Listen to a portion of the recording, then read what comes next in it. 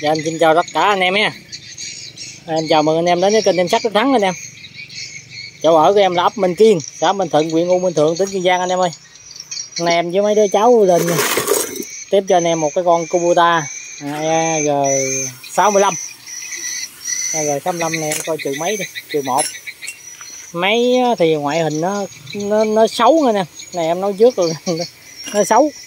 Cái này chắc em nghĩ bỏ bãi lâu lắm rồi nè nhưng mà nãy được em nghe tiền nó quay nghe cái tiếng còn đảo quá. Cái máy này thì bên ờ, em cố gắng một cái ờ, bông ga của D6 để cho mình tiện cái việc mà mình lên ga xuống ga nè. Còn máy về thì nó không có cái bông này. Cái bông này là made in Việt Nam anh em. Này có hai thơ nhí này gắn là nó. Chứ gặp em là lấy công dây chì em buộc cho nó mau chút. Còn ngoại hình thì cái máy này tay khóa dầu còn nguyên nè. Ly dầu này thì nó thiếu cái lượt anh em ơi. Hồi sáng hết lượt. Bây giờ có về lượt thấy không? Anh em nào có chốt máy này thì nhớ nhắc em là gắn cái lượt lại cho anh em mình nhé máy này thì ờ, có khoen nó còn đủ nè. Cái lọc dầu cũng còn luôn. Nhà mà để em coi trong cái thùng dầu có đẹp không. Thùng dầu cái này thì theo như em nhận xét thì cỡ khoảng 6 điểm. 6 điểm. 6 không được 7 nữa nè. Trái đèn còn luôn. Bóng đèn còn luôn mà em không biết cháy hay không thì em không biết nha máy thì được con cái là tuy nó nhìn nó cũ kỹ tí xíu, nhưng mà nó được cái là nó nguyên zin nên em ơi không khoái cái đầu zin á, cái gì zin là thấy khoái à. Số series của nó là 4057 anh em ơi.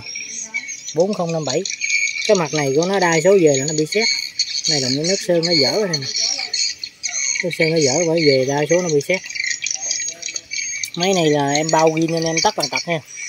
Nhưng mà khi máy nó về nó không có cái lửa là tụi em mới mài của cái bô lửa của D12 nè. Bô bằng inox.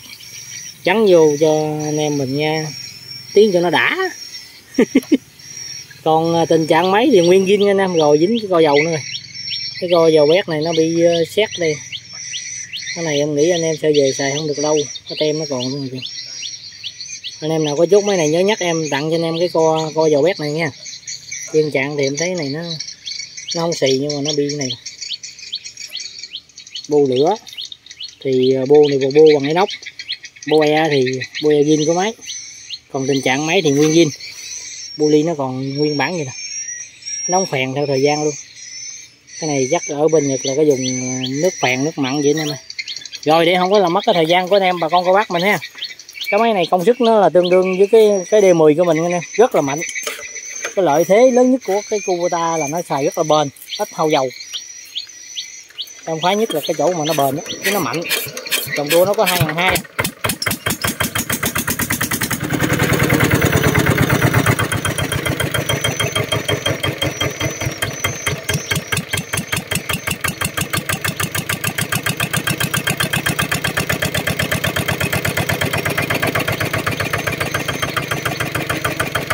Nhập vài cái thôi chơi. Tại nó cũng sẵn cái hút ờ, ống sắt rồi anh em này quá đặt nó quá cháy rồi.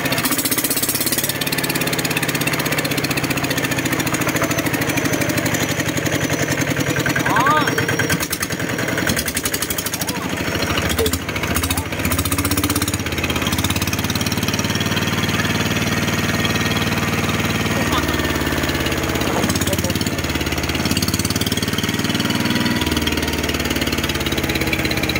đó cái đã rồi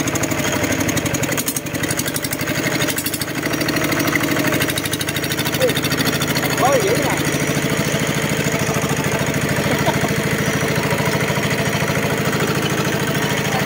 con nẹt dai dữ chưa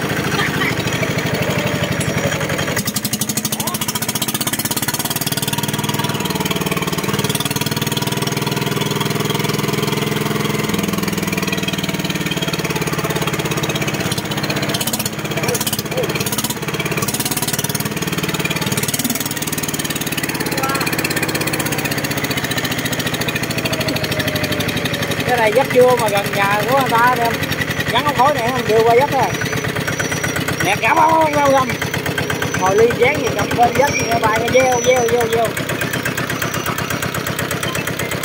Nghe vậy bác ơi. Nghe bác ơi máy chạy em thấy còn im không nha. Chưa thấy nổi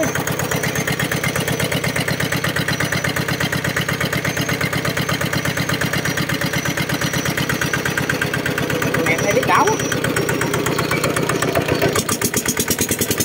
hết ra luôn Hết chưa? Rung quá nè mày.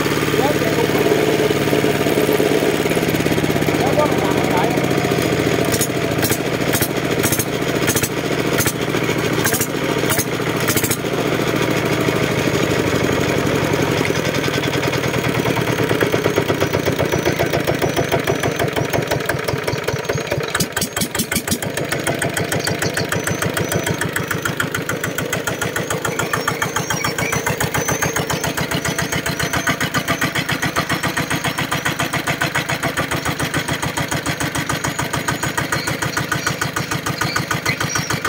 xe bơm nước đại lắm anh em còn anh em kéo cục đi mua phát điện kéo tầm chỗ khoảng 4 kg 4 kg rưỡi nữa nè anh em chạy vừa chút đó còn nếu anh em bơm nước ruộng thì từ 15 đến 25 công á, anh em bơm mấy này nó vừa.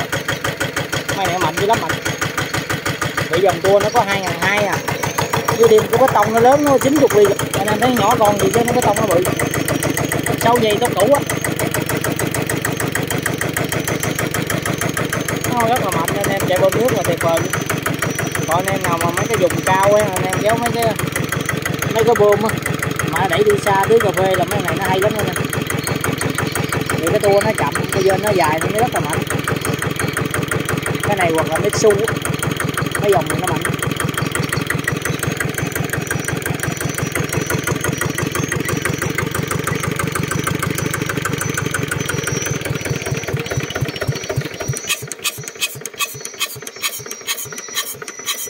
Rồi em muốn xin báo giá cho anh em mà con cô bác mình luôn ha.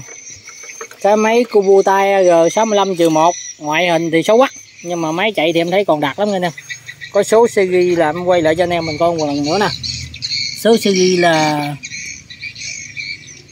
4851 có gì anh em ơi.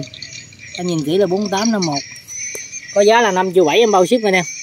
Còn anh em nào mua tại chỗ thì em trừ lại 400 ngàn ha. À, 5 triệu 3 em bao ship. Anh em nào làm được cái máy này thì alo mình em ha tuy ngoại hình anh em nhìn thấy nó hơi cũ kỹ nhưng mà khẳng định 100% cho anh em chắc nịch luôn. Anh em mua cái D10 cái này nó chấp có khoảng hai sát D10 D10 hư rồi chứ nó không có nhúc nhích gì. Cô ta rất là bền. Anh em nào mà nếu gần địa phương ở đây thử thử xài với em ha. Khẳng định với anh em mình luôn. Nếu mà nói về dòng Kubota anh em xài một cái nó rất là chuẩn rất là mạnh luôn. Rồi em cũng xin kết thúc video tại đây anh em. Anh em nào làm được thì alo giùm em. À, chào tạm biệt anh em.